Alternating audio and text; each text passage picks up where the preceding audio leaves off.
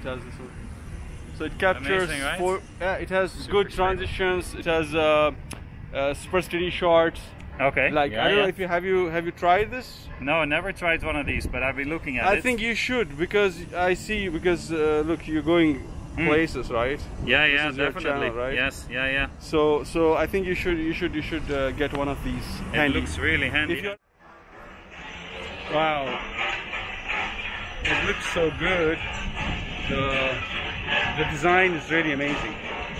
These are all box type uh, restaurants uh, made up of containers. You can see behind me.